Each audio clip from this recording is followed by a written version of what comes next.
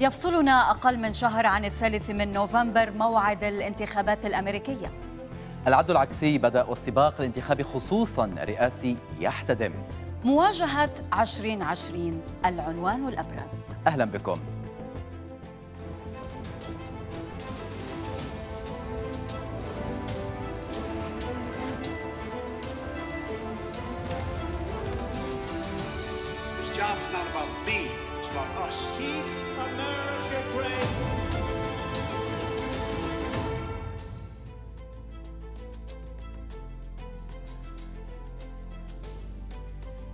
إصابة ترامب بفيروس كورونا تشعل السباق الرئاسي وتحول الأنظار نحو صحة سيد البيت الأبيض And it's happened to millions of people all over the world, and I'm fighting for them.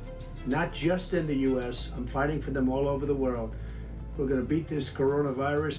We have to do so much more to step up to get this virus under control. وضمن مواجهة 2020 نتابع مع مراسلين من البيت الأبيض هشام برار. ومن الكونغرس عبد الرحمن البرديسي. جاهزون والدستور الأمريكي واضح في طريقة التعامل مع أي طارئ. بعد إصابة الرئيس ترامب في فيروس كورونا كيف سيتغير السباق نحو البيت الأبيض؟ وأيضا في هذه الحلقة مشاهدينا بلغة الجسد ما الذي كشفته حركات وإيماءات المرشحين في مناظرتهما الأولى؟ can answer the question. Why because, would you answer that because question? Because the question is, the question Supreme is, Court justice, the radical left for the individual mandate. Excuse me, I got rid of the individual mandate. Said the opposite. The no, so, well, look serious. At, Dr. Fauci. Dr. Fauci said the he opposite. He did not I, appropriate. All right, Ms. what is peaceful President, protest? When they run through the middle President, of a town Trump, and burn down President your stores Trump, and kill people President all over Trump, the place, that and is say not peaceful, peaceful protest? President Trump, no, I'm not, not asking. But you say it is. President Trump, I'd like to continue with the issue of race. I promise we're going to. أترككم الآن مع ميرا. ميرا أتركك مع المشاهدين وأبرز الملفات ضمن مواجهة 2020 شكرا لك جو.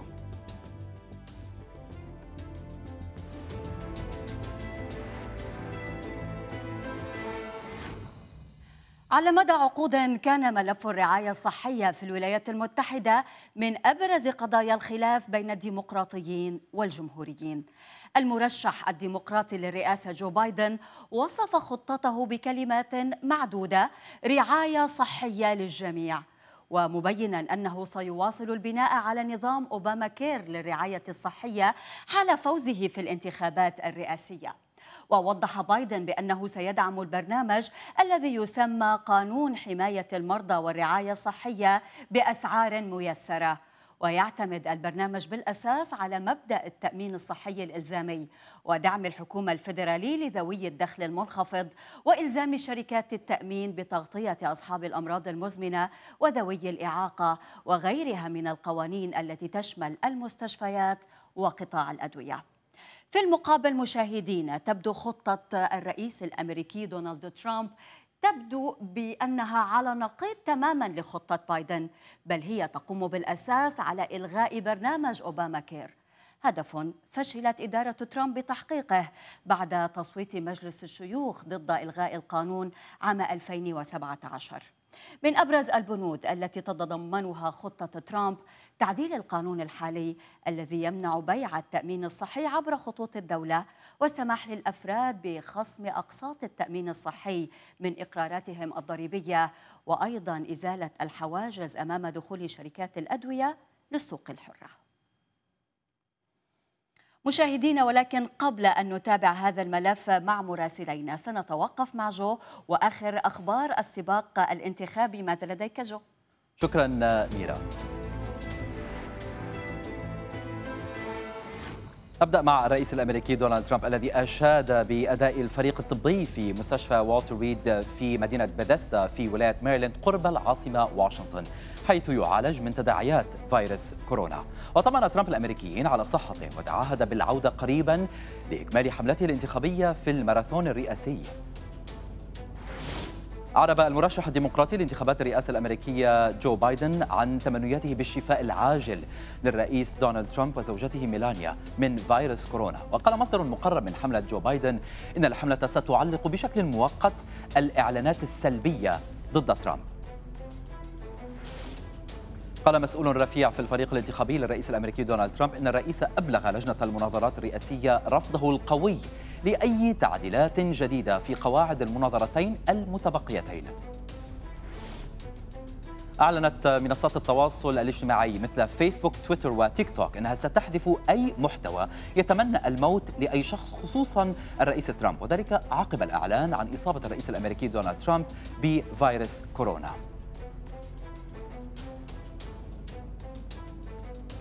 كنا مع هذا الجزء من الجولة السريعة للأخبار السباق الرئاسية الآن عودة إلى ميرا وما تبقى من ملفات ضمن مواجهة 2020 أشكرك جو بالتأكيد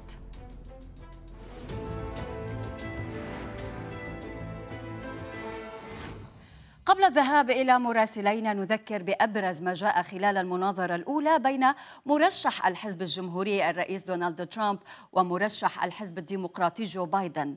ترامب رفض اتهامات منافسه الديمقراطي التي حمله فيها المسؤولية عن وفاة أكثر من 200 ألف أمريكي بسبب أسلوب تصديه لأزمة كورونا.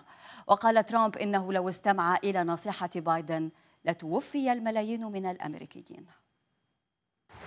Listen to you, لو أننا استمعنا إلى رأيك لتركنا البلاد مفتوحة على مصراعيها ولا توفي الملايين وليس فقط مئتي ألف. هذا ليس خطأ فردي لكنه خطأ الصين ولم يكن ينبغي أن يحدث. لقد أغلقت البلاد وحينها قلتم إنه عنصري وكاره للأجانب.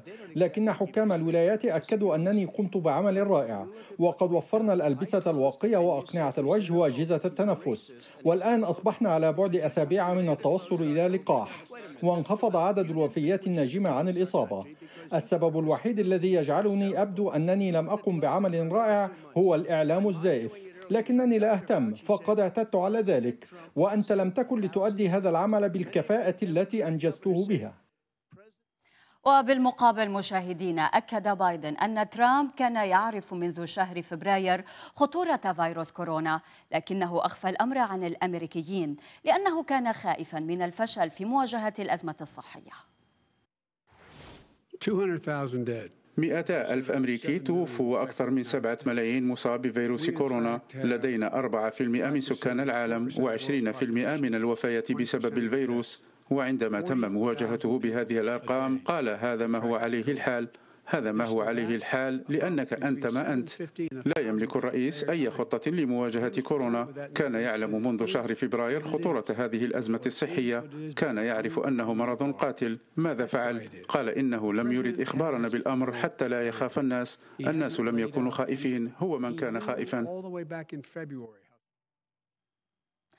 للمزيد عن التحولات والتغيرات التي طرأت في السباق الانتخابي يعود وينضم إلينا من جديد من البيت الأبيض هشام بورار ومن الكونغرس عبد الرحمن البرديسي. أهلا بكما. بالتأكيد سأبدأ معك هشام كيف تبدو التغييرات في السباق نحو البيت الأبيض؟ أهم تغيير أن الآن لدينا مرشح واحد للرئاسة في ساحة الحملات الانتخابية وهو المرشح الديمقراطي جو بايدن.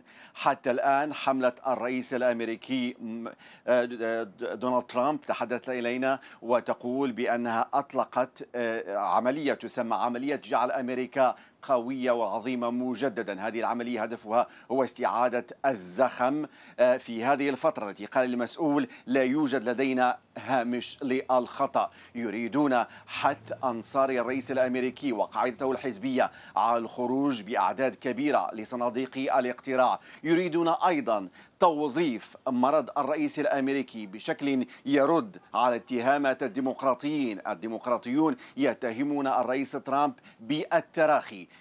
في أمام جائحة كورونا ما أدى إلى إصابته وعدد من الموظفين في البيت الأبيض. الرئيس الأمريكي ينوي من خلال حملته التأكيد على أنه قوي من خلال ظهوره اليومي من مستشفى والتر ريد على أنه يجابه هذا المرض بحزم وبتصميم على التغلب عليه ويقولون أنهم سيطرحون أمام المواطن الأمريكي بأن الحل والخيار ليس بين البقاء خلف أبواب مغلقة والاستسلام للمرض بل مواجهته وتجربة علاجات تجريبية كما قال الرئيس الأمريكي وكما خضع لها في مستشفى والتر نعم. ريد من أجل تشجيع المواطنين على مواجهة هذا المرض تكتيكيا ولوجستيا حملة الرئيس ترامب حتى الآن تعتمد على نائب الرئيس وأعضاء في أسرة الرئيس الأمريكي في حملات انتخابية وتجمعات تتطلب الحضور الشخصي وهناك تصور لمشاركته في مرحلة لاحقة. بشكل افتراضي طيب ما هي الخيارات الدستورية عبد الرحمن وموقف المشرعين عند حدوث أي طارئ؟ موقف المشرعين موقف واضح جدا فالمادة الثانية من الدستور البندان الأول والسادس من دستور عام 1960 ينصان على الآتي إذا كان الرئيس مريض أو حدث حالة وفاة أو كان غير قادر لأي سبب على آه، صدور أي آه، حكم تنفيذي فعادة آه، يحكم البلاد نائب الرئيس. وإن كان حدث مكروه أو حدث أمر طارئ لنائب الرئيس فيحكم البلاد رئيس مجلس النواب. وبعد ذلك إذا حدث أيضا السلم آه، نذهب إلى القائم بأعمال آه، رئاسة مجلس الشيوخ ثم في الأخير آه، وزير الخارجية. وطبعا هذه المادة كانت هناك إشكالية في طرحها لأن البعض من الممكن أن يقول إذا كان الرئيس غير قادر من وجهة نظر الآخرين ولكن من وجهة نظره هو قادر آه، على أن يتم أعماله كرئيس تنفيذي للولايات المتحدة الأمريكية. فجاء التعديل في عام 1965 وينص التعديل على الآتي أن الرئيس يجب أن يكتب وثيقة هامة إلى الكونغرس ويقول فيها أنه غير قادر ولذلك ربما يستطيع الكونغرس أن آه، آه، يرشح آه، بالطبع نائب الرئيس. وبالمناسبة هذا التعديل عندما أقر عام 1965 تم التصديق عليه من الكونغرس عام 1967 اذا الدستور الأمريكي واضح لا محالة. إذا كان. هناك غياب للرئيس فسيكون الخليفة للرئيس واضح جدا. عبد الرحمن البرديسي من الكونغرس وهشام بورار من البيت الأبيض. شكرا جزيلا لكما. تتابعونا بعد الفاصل.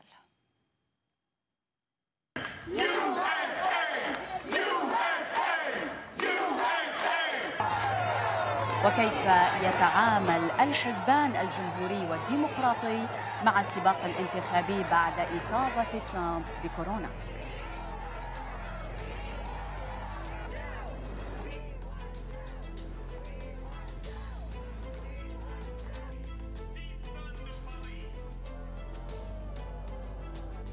جو ماذا في جعبتك؟ أيضا بعد الفاصل ميرا إصابة ترامب بكورونا تسيطر على مواقع التواصل الاجتماعي ليس فقط داخل الولايات المتحدة بل في العالم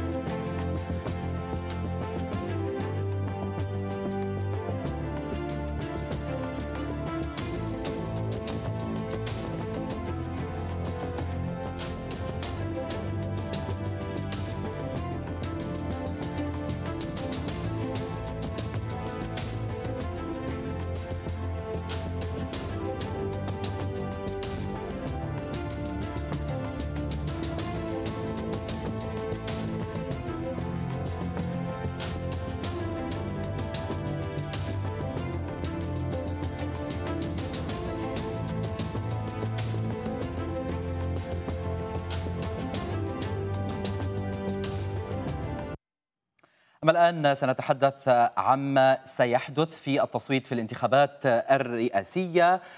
إذا كان هناك اختلاف في الموعد النهائي لعد الأصوات بين ولاية وأخرى لكن الموعد النهائي هو الثاني عشر من ديسمبر. ومن المؤكد أنه في الرابع عشر من ديسمبر يجب أن يجتمع ممثلو المجمع الانتخابي للتصويت استنادا على الأصوات الشعبية للولاية. على المرشح أن يحصل على 270 صوتا على الأقل من أصل 538 هم مجموع أصوات المجمع ليصبح رئيسا للولايات المتحدة. الآن السيناريو الأول إذا حصل أحد المرشحين على هذا هذه الأصوات فسيؤدي الرئيس المنتخب القسم في العشرين من يناير ويصبح رسميا رئيسا للبلاد. أما السيناريو الثاني فهو لا لن يحصل أحد المرشحين على هذه نسبة الأصوات فيجب على مجلس النواب في الكونغرس التصويت بواقع صوت لكل ولاية. وعلى المرشح طبعا آه، الحصول على 26 صوتا على الأقل ليصبح رئيسا ويؤدي القسم في العشرين من يناير. في حال فشل مجلس النواب بانتخاب رئيس يتولى نائب الرئيس المنصب في العشرين من يناير لحين انتخاب رئيس آه، آه، في هذه الفترة. لكن ماذا عن نائب الرئيس في حال لم يحصل المرشح على 270 صوتا في المجمع الانتخابي وانتقل التصويت لمجلس النواب؟ ينتقل معه التصويت على نائب آه، الرئيس لكن في مجلس الشيوخ. وعليه طبعا أن يحصل على 51 صوتا على الأقل ليصبح نائب آه، الرئيس في العشرين من آه، يناير أو رئيسا في حال عدم انتخاب رئيس. أما في حال طبعا آه، فشل انتخاب رئيس ونائب رئيس فيتولى منصب الرئيس الأمريكي في العشرين من يناير رئيس مجلس النواب. وإن لم يوجد فرئيس مجلس الشيوخ المؤقت حتى انتخاب رئيس.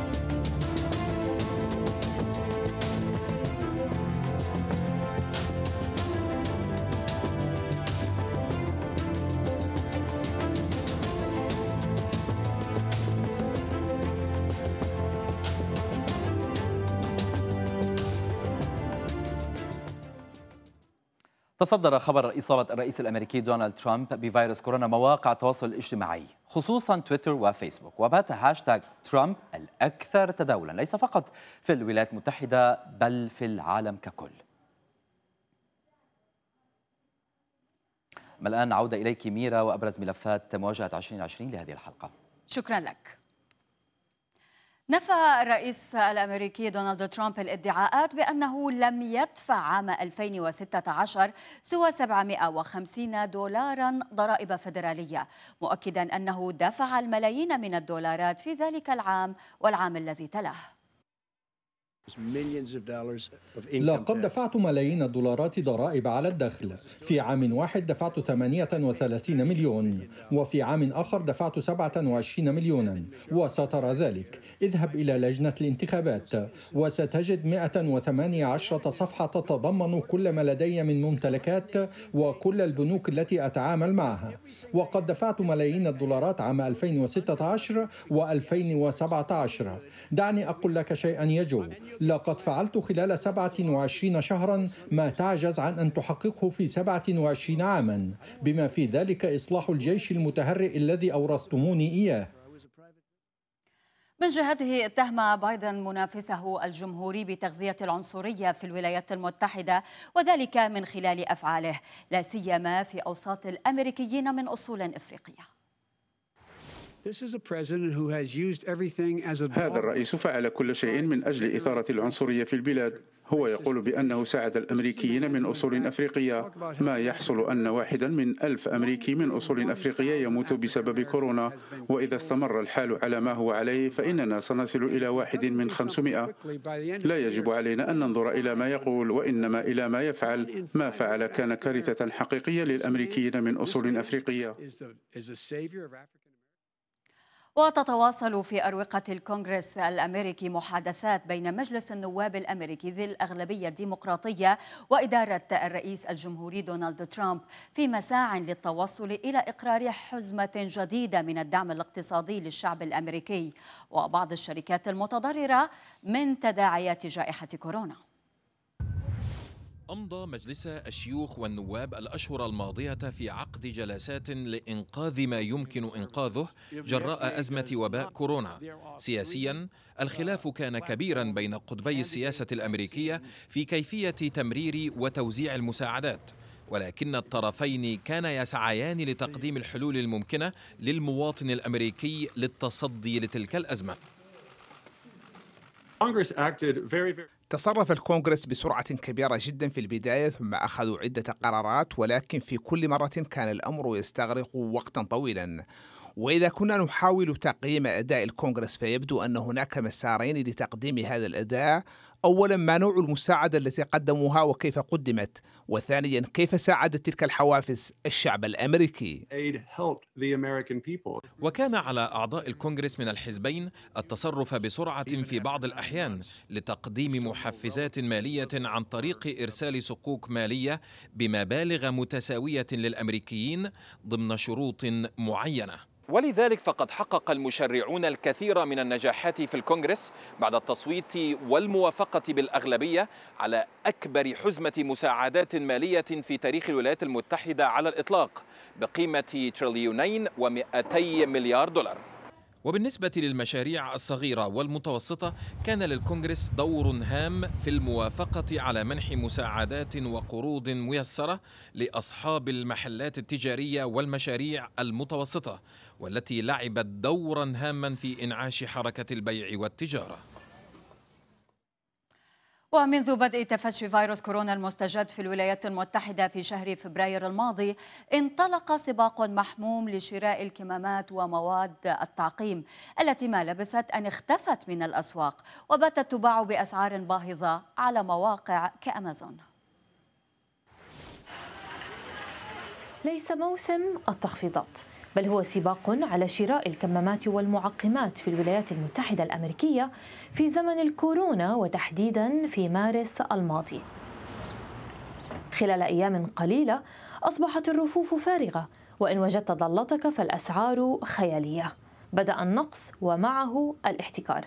في الفترة نفسها اعتقلت السلطات في ولاية تينيسي شقيقين جمعا نحو 18 ألف عبوة معقم ليبيعانها بأسعار باهظة على موقعي أمازون وإيباي.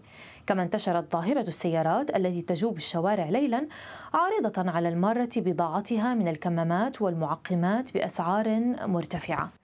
We're close to finalizing a second partnership. ولحل هذه المعضلة فعل الرئيس الأمريكي دونالد ترامب قانون الإنتاج الدفاعي والذي يمكن الحكومة الفيدرالية من السيطرة على القطاع الخاص لتلبية احتياجات الطلب المحلي. الشركة المصنعة للكمامات وأقنعة الوقاية 3M أعلنت أيضا زيادة كميات الإنتاج كما بدأت شركات غير متخصصة بصناعة الكمامات والمعقمات. ورغم أن هذه المبادرات ساهمت بشكل كبير في سد النقص بالكمامات والمعقمات فإن المخاوف تبقى قائمة من أزمة جديدة إن تعرضت البلاد لموجة ثانية من الوباء.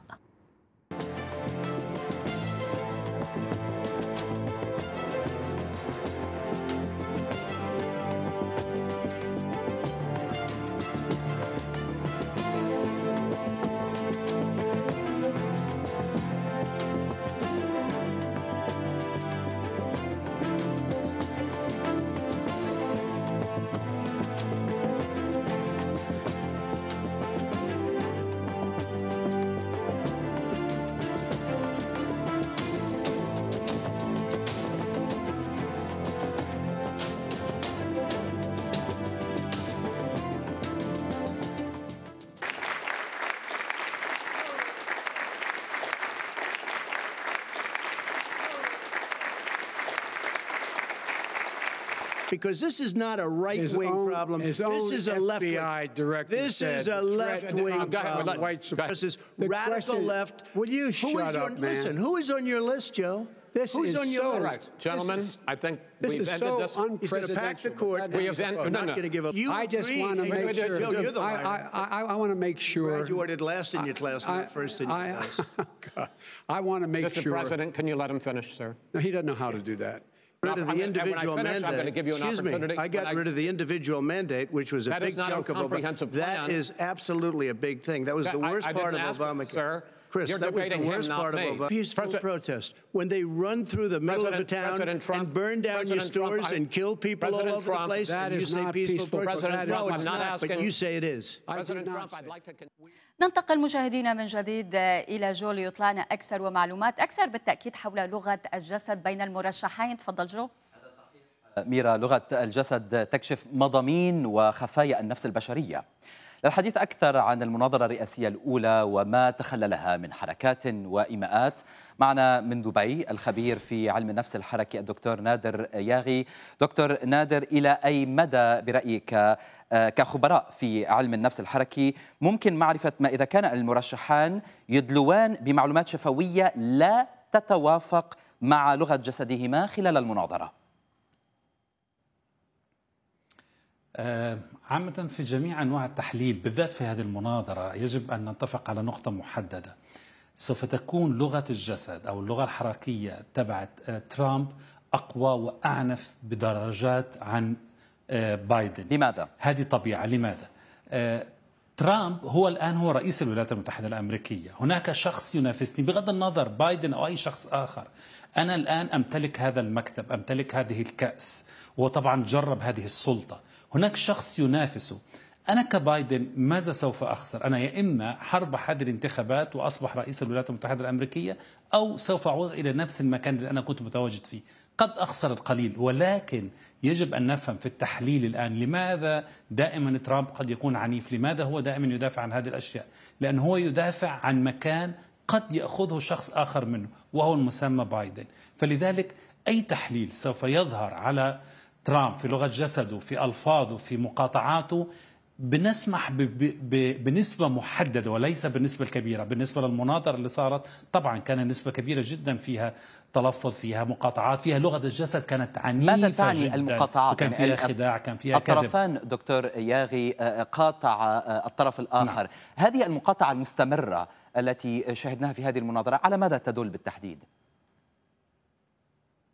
تدل على حدة قوة المنا... ال- ال- ال- اللي إحنا بنسميه المناظرة بينهم لأنه كل منهم شوف دائما المناظرة بتكون لأني أنا عندي برنامج انتخابي وهذا عنده برنامج انتخابي. نعم. النقطة التي حدثت في لغة الجسد بعيدا عن السياسة أصبحت أن هناك اتهامات. فلذلك كان في مقاطعات.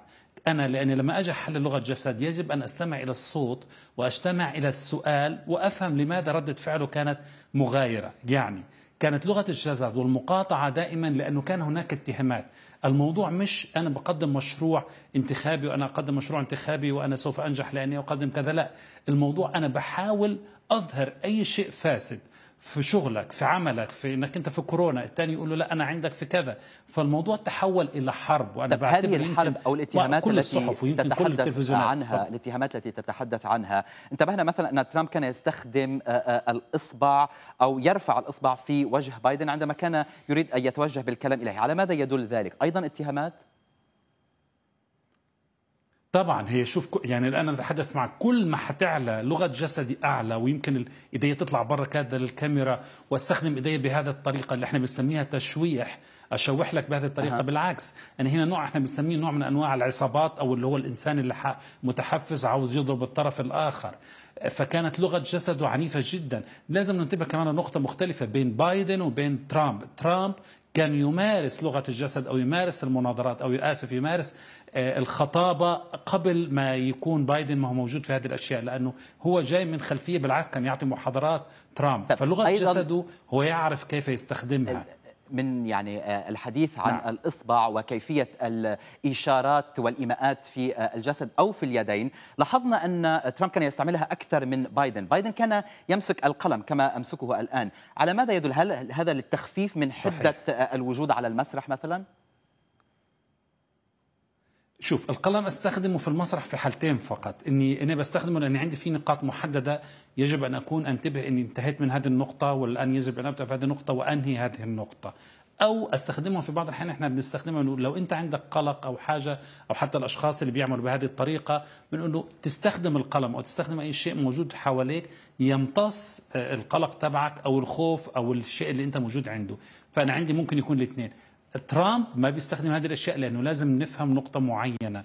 ترامب عنده تخزين أو العقل اللاواعي بيخزن عنده معلومات أكثر بكثير من بايدن. وهذه أنا لاحظت عليه كثيرة جدا في الإجابة على السؤال. إحنا دائما في حاجة اسمه سيكولوجية اتخاذ القرار. في بعض الأحيان يجب أن تتخذ القرار في أقل من ثلاث ثواني إذا كنت تريد أن تكون قائد. آه، موجودة عند ترامب قليلة عند بايدن. بياخذ وقت وبيطلع لفوق وهذه نقاط مهمة جدا. على بال ما ياخذ المعلومة ويرجع في بعض الأحيان ينزل إلى أسفل. لغة العين تبعت ترامب كانت واضحة نعم. زي ما أنا بكلمك إلى منتصف الشاشة أو المنتصف الكاميرا أو أي منتصف الشخص اللي أنا بتحدث معاه. لنرى إذا آه، خفايا النفس البشرية ولغة الجسد ستختلف في المناظرة آه، الثانية. أما الآن آه، نشكرك جزيل الشكر الخبير في علم النفس الحركي الدكتور نادي نادر ياغي من دبي على كل هذه المعلومات. أما بعد الفاصل تتابعون رؤساء كتبوا تاريخ الولايات المتحدة.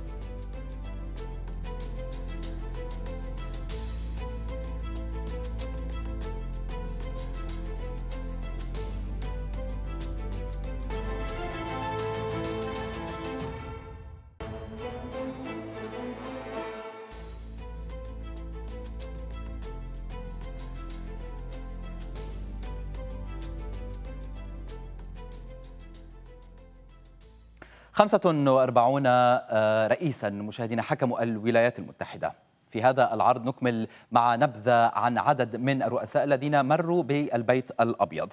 نبدأ آه، أولا مع الرئيس رقم 32 آه، في الولايات المتحدة وهو فرانكلين روزفلت. حكم البلاد فرانكلين روزفلت في أحد أهم فتراتها التاريخية قبيل وإبان اندلاع الحرب العالمية الثانية. رغم إصابته بالشلل وهو بعد في التاسعة والثلاثين من عمره. تسلق السلم السياسي في الحزب الديمقراطي حتى انتخب رئيسا للبلاد.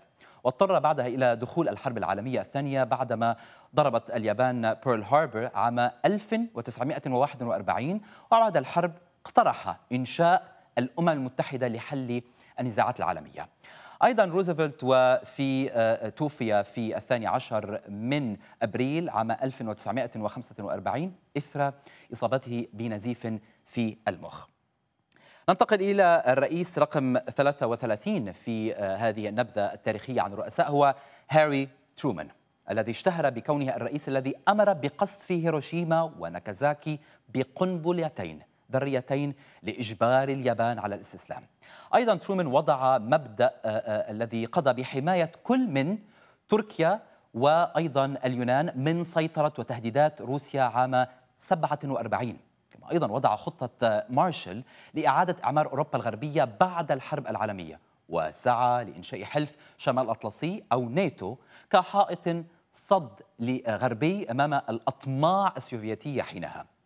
وتدخل تدخل عسكري لحماية كوريا الجنوبية خلال الحرب مع جارتها الشمالية عام 50 من دون أن يوسع الصراع إلى حرب شاملة مع روسيا أو الصين.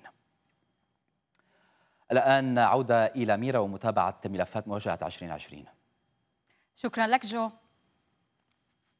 مشاهدينا للحديث أكثر عن انتخابات الرئاسة الأمريكية والسجالات والتطورات تحديدا بعد إصابة الرئيس دونالد ترامب بكورونا.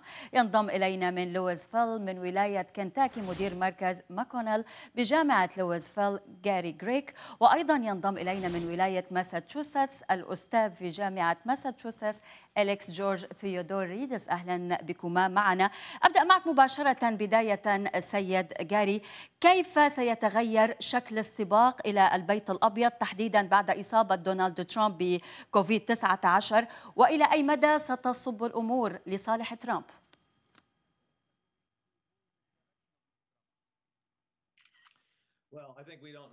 أعتقد أننا لا نعرف بالضبط ماذا سيحدث فالموقف غير مسبوق ولم نرى شيئا مثل هذا.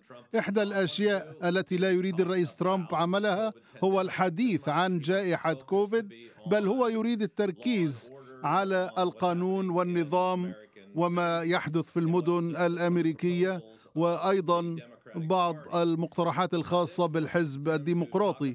ولكن هذا قد يرغمه على الحديث عن كورونا وهو متأخر في استطلاعات الرأي وهذا سيجعل الحياة أكثر صعوبة للرئيس ترامب. سيد إريكس ما رأيك بما قاله ضيفي السيد جاري غريغ حول هذا الموضوع؟ لأنه الكثير من أنصار ترامب يتحدثون عن أنه قام بفعل أقصى ما يمكن وبذل جهده وحتى أنه يعني خاطر بحياته ليتحدث لهم ويخاطبهم ويسوق لحملته الانتخابية.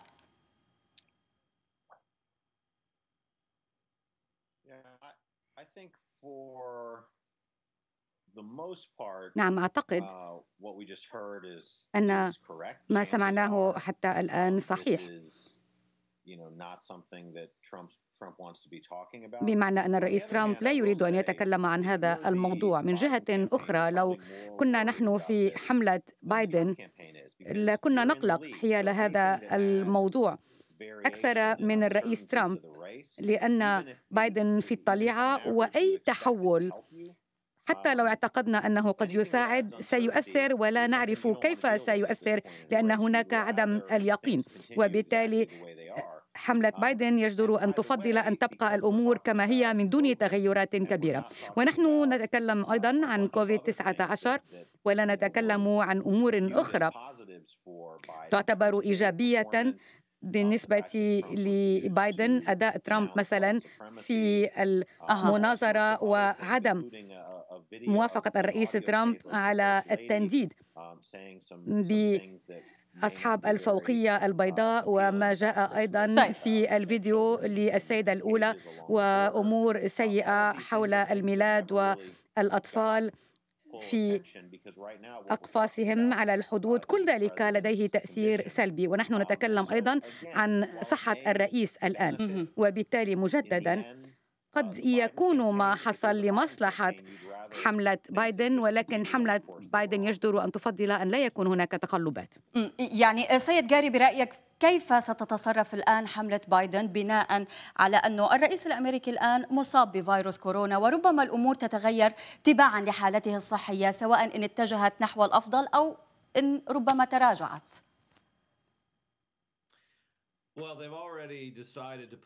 لقد قرروا سحب الإعلانات السلبية.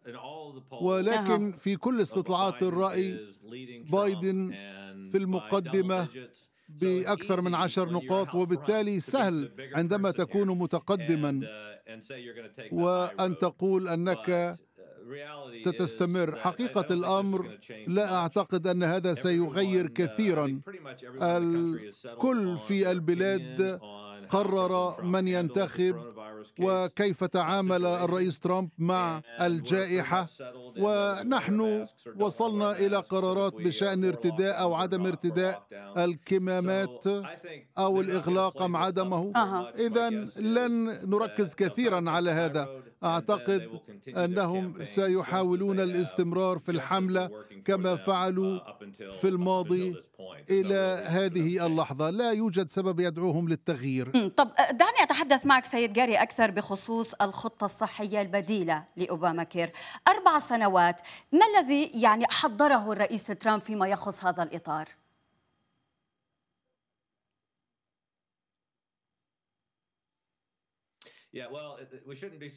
لا يجب أن نفاجأ uh, بكل صراحة الجمهوريون لم يكن لديهم ابدا بديل ولم يتفقوا على بديل صحي منذ البداية. وبالتالي هم لا يمكن أن يعارضوا اوباما كير بدون أن يعرضوا خطة. لا يجب أن يفاجئنا هذا على الإطلاق. uh, الجمهوريون منقسمون إلى حد كبير بشأن رغبتهم في تدخل الحكومة طيب. في نظام الرعاية الصحية وقد جعلوا نظام الدافع الواحد هو الأساس إنما في أوباما كير المسألة تختلف لا يجب أن نفاجأ أنه طب دعنا نسأل سيد. أليكس رأيه في هذه النقطة نعم يعني سيد آه، آه، أليكس تخفيض أسعار الأدوية تحسين نظام الرعاية الصحية مقابل أوباما كير يعني نريد أن نفهم منك أكثر يعني يعني لماذا التركيز أكثر بالنسبة للديمقراطيين على موضوع أوباما كير تحديدا؟ وخصوصا أنه هذا البرنامج ربما لديه الكثير من المشاكل فيما يتعلق بانسحاب شركات التأمين منه.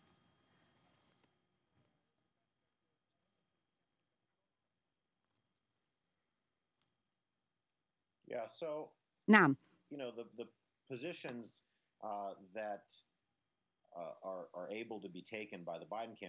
فيما يتعلق بحملة بايدن هناك بعض المواقف المحدودة. حتى لو أرادوا أن يبتعدوا عن أوباما كير بايدن لا يمكنه أن يفعل ذلك لأنه كان نائب رئيس باراك أوباما. وبالتالي هو جزء من إدارة أوباما. وبالتالي لا يمكنه أن يندد, بأوباما كير حتى لو أراد أن يفعل ذلك. وأنا لا أعتقد أنهم يريدون أن يفعلوا ذلك بتاتا. ولكن هذا ليس خيار على أي حال أو ليس خيارا منطقيا. طب سيد يح- يعني آه، آه، برنامج أوباما كير إضافة بعض التطويرات عليه هل تعتبر كافية برأيك؟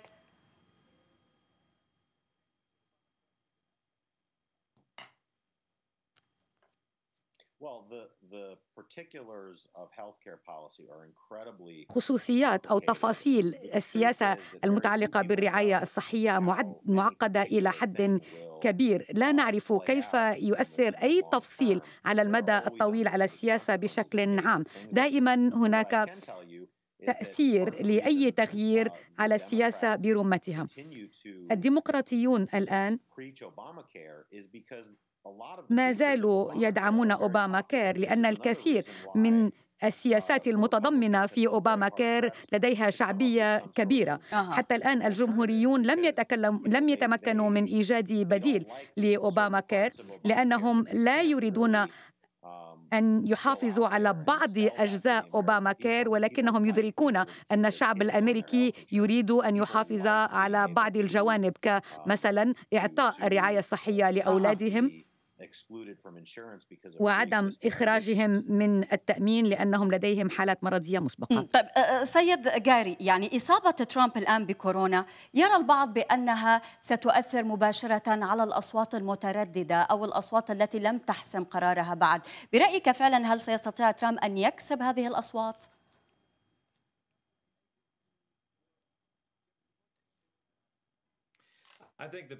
أعتقد أن الناس الذين لم يقرروا بعد هم مجموعة صغيرة في أمريكا. هذا السباق يتعلق بمناشدة ترامب لقاعدته الانتخابية والتأكد من أنهم سيصوتون وإقناع جزء صغير من الناس من الناس. لا أعتقد أن مرض الرئيس سيكون له تأثير على الإطلاق. ولكن الأمور قد تتغير إذا أصيب أو إذا أصبح مرضه أكثر شدة ربما تتغير الأمور ولكن لا أعتقد أن المرض سيكون له تأثير. طيب سيد إليكسي ما الذي يتوقعه الآن الناخبون الأمريكيون سواء كان من بايدن أو من حتى دونالد ترامب؟ ولذلك يعني بعد المناظرة الأولى التي يعني على ما يبدو كانت فوضوية ولم يستمع الناخب الأمريكي لما يريده من إجابات.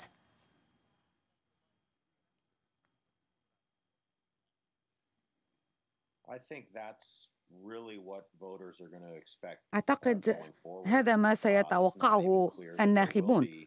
من غير الواضح إن كانت هناك مناظرات أخرى ستجري.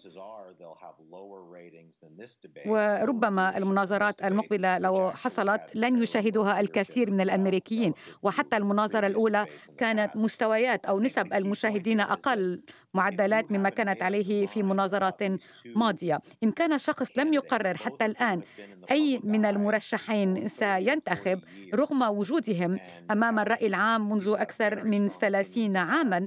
والكثير من الناس لديهم مواقف مشددة أو متشددة حيال الاثنين. فمن الصعب أن نرى أشخاص يغيرون من مواقفهم الآن. هم قلة الذين سيغيروا من موقفهم حيال الرجلين. أعتقد أن الموقف الآن لدى الناخب أصبح واضحا جدا و لا أعتقد أن هناك طيب الكثير أتوجه سيغير الأمور أخير. بشكل دراماتيكي أتوجه بسؤال أخير إلى ضيفي سيد جاري وبالتالي الآن في حال تمت إصابة المزيد من الشخصيات المقربة من دائرة الرئيس ترامب كيف من الممكن أن يتم التصرف فيما يخص السير آه، نحو البيت الأبيض؟